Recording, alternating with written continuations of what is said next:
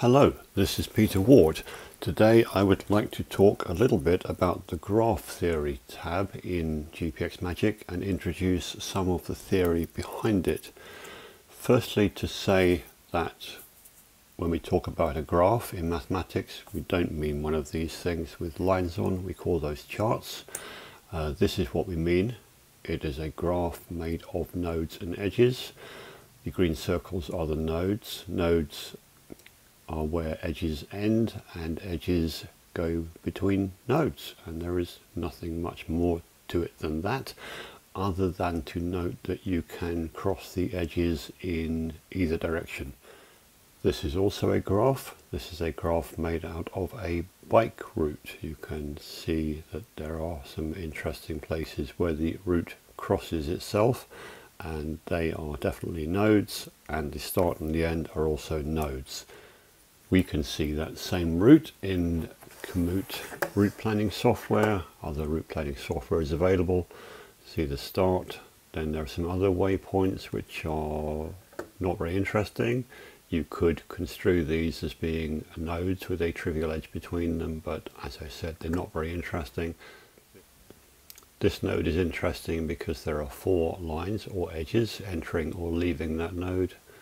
This node is interesting we go around that loop and then we get to the end node and that is also interesting because it's the end. Here is that route loaded into GPX Magic. It may look a little bit different but that's only because of the presentation. If we look at the lines uh, we see the graph structure more clearly.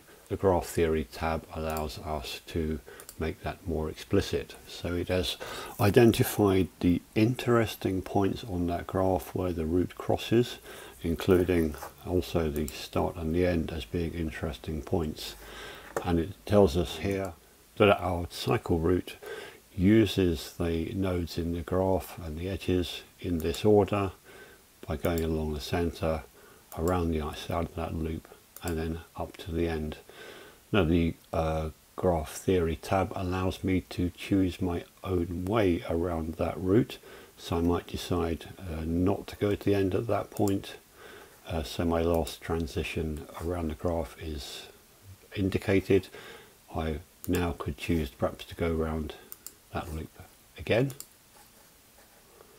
And see what I'm doing there is just dropping the orange marker onto an edge or to an endpoint so I can add and excuse me, now I got to the end uh, and then I could decide to come the other way down that edge and then all the way perhaps back to the start again and thus finish. And when I've finished deciding which way I want to go, I don't need the graph anymore so I can convert back to a normal set of roads and oh, this is worth mentioning, oh dear, look, it's trimmed off the bit where I go out to the end and come back again.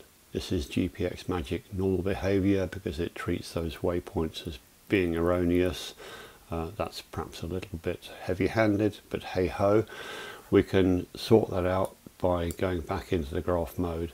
And we probably want to do this anyway, which is to apply a offset, a lateral offset, so that we uh, separate the use of an edge in one direction from the use of an edge in the reverse direction. And if I now convert that back to a graph we get a better representation of our route because we are in the UK so we ride on the left.